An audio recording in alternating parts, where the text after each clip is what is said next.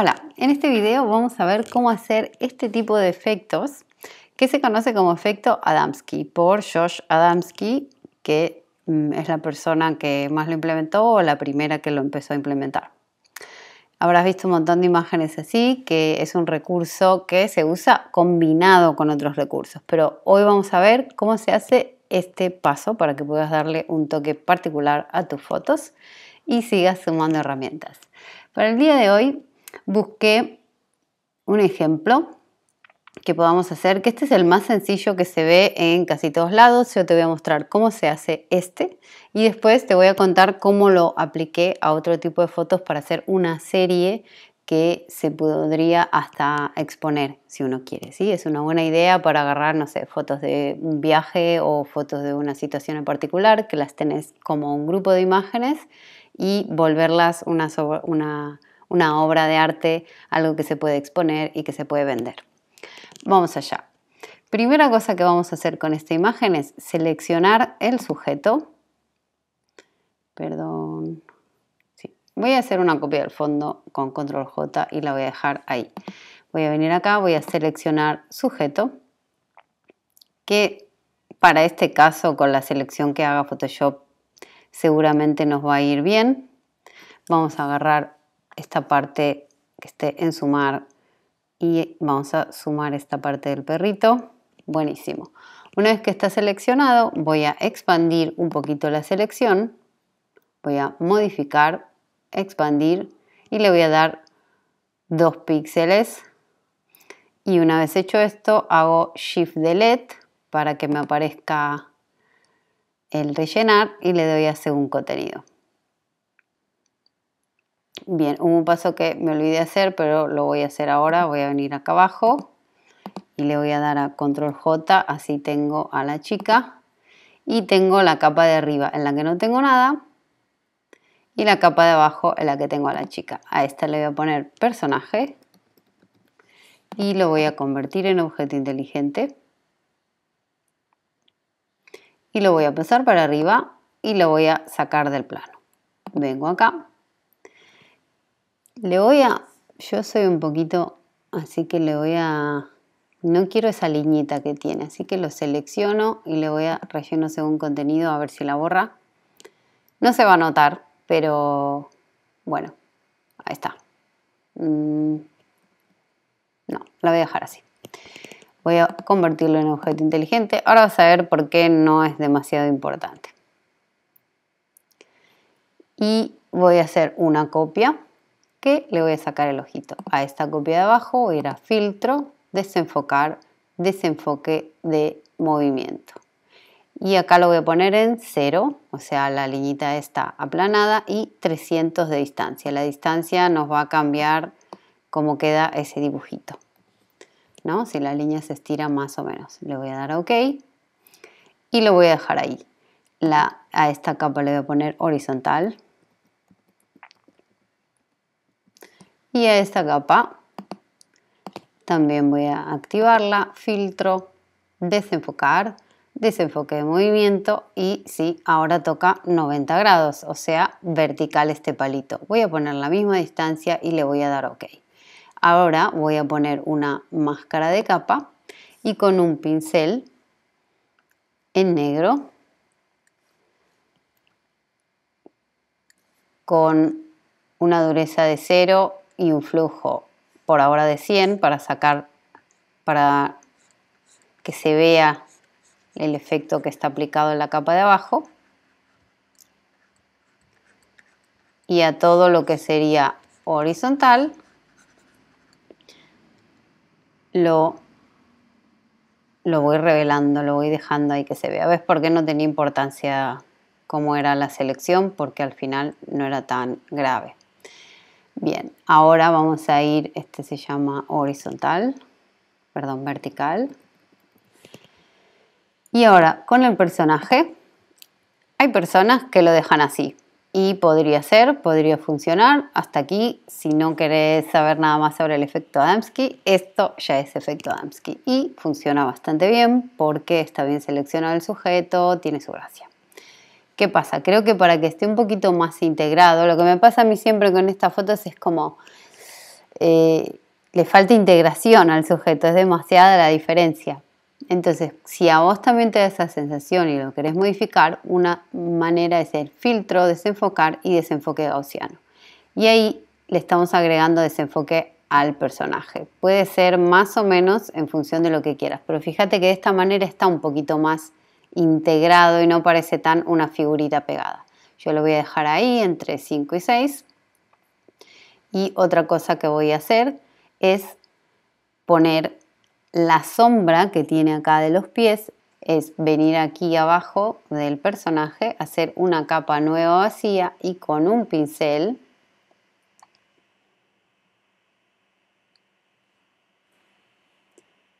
pintar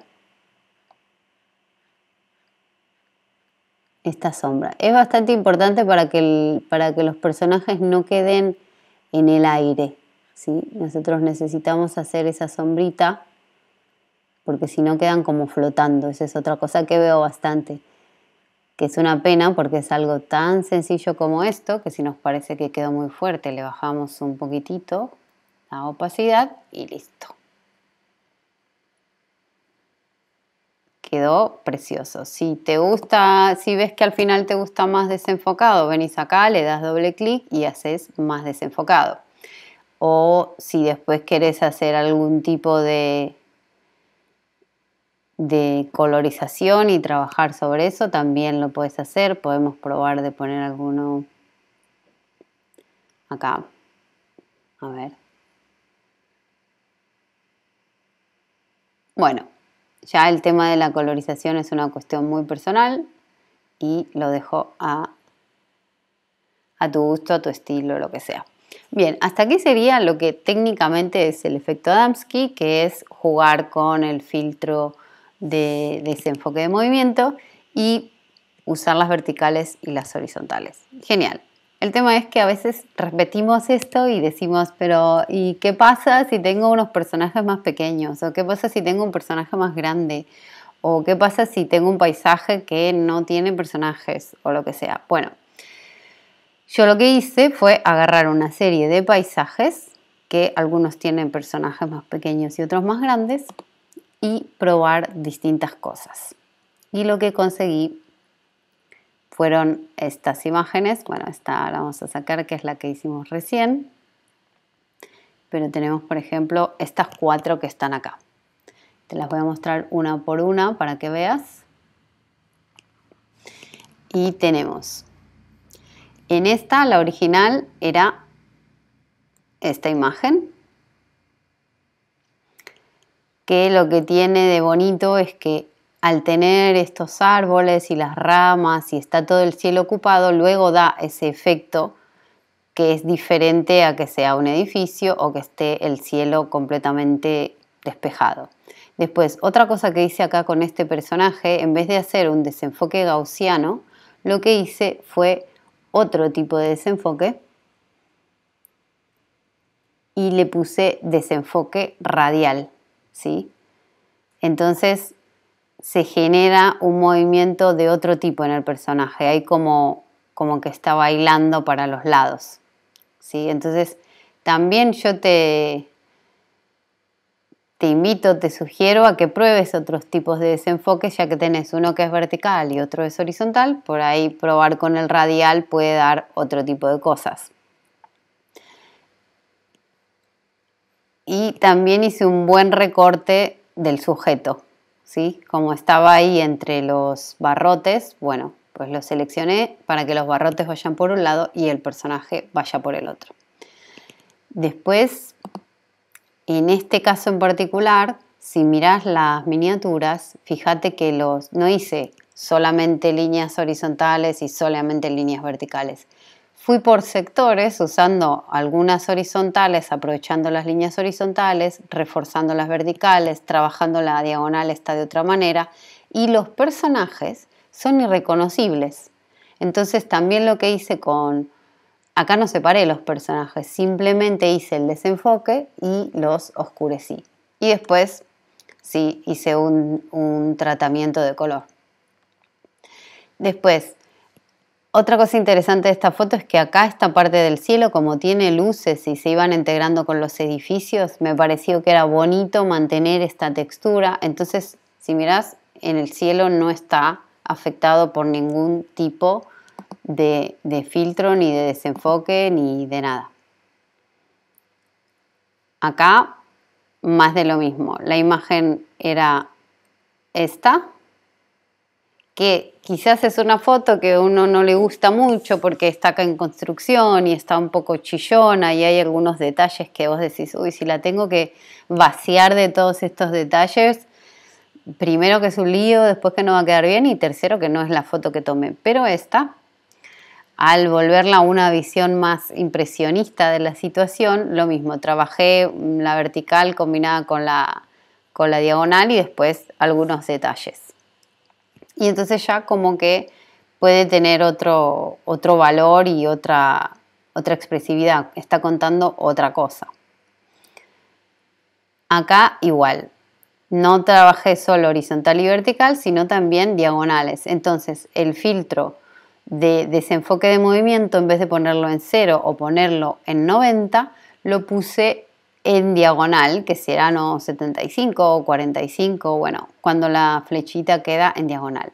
Y a los personajes chiquititos los, le hice un desenfoque gaussiano, pero no los, no los toqué a todos. ¿sí? Hay muchísimos más, pero da la misma impresión solamente trabajando sobre algunos. Entonces da la sensación de que hay mucha gente, pero no es esto. ¿sí? Que es como una imagen no tan buena, quizás hasta se podría recuperar este muñequito verde que está acá, ¿no? Eso podría ser gracioso. A ver si puedo.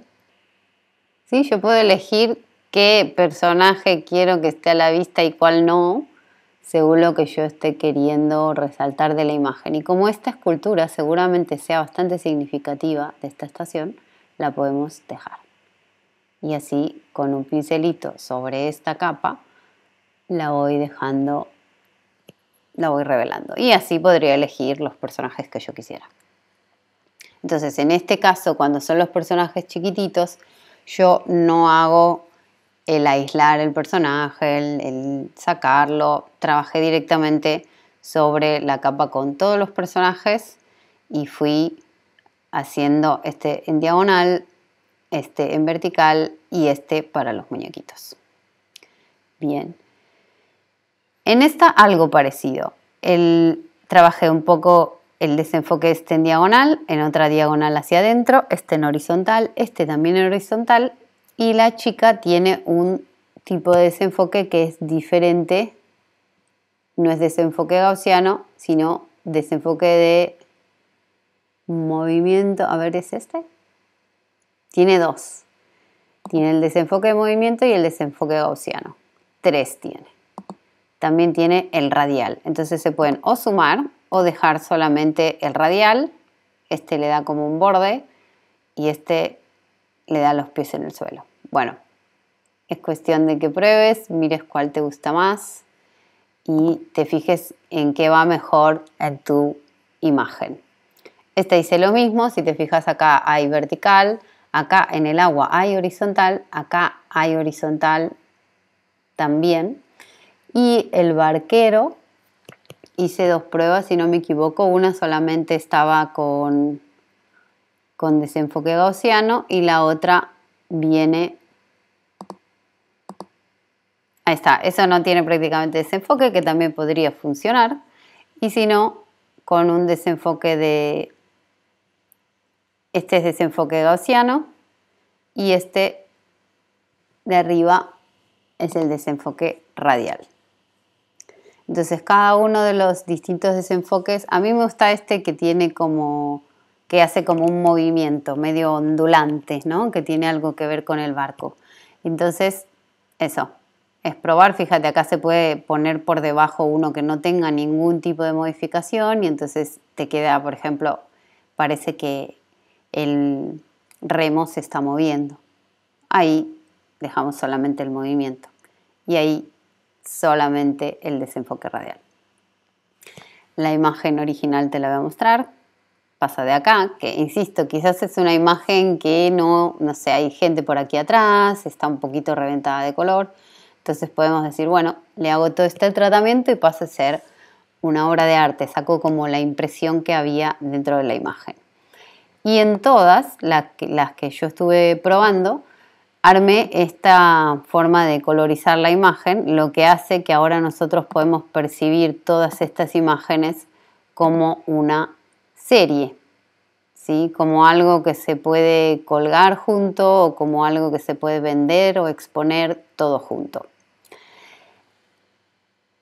¿Qué cosas me funcionan más? Que la imagen esté llena, o sea, que tenga naturaleza, que el cielo tenga nubes, que haya distintos tipos de líneas, líneas rectas, líneas en diagonal, que haya personajes, pero tampoco que sean muchísimos personajes, seleccionar cuáles son los que queremos. Y después hacerle un tratamiento de color que acompañe este tipo de edición. Si querés que hable sobre ese tipo de tratamiento de color para conseguir una serie con tus imágenes, déjamelo saber en los comentarios, decime qué te pareció, si te gustó, si lo vas a usar. Y nos vemos muy pronto. Muchísimas gracias.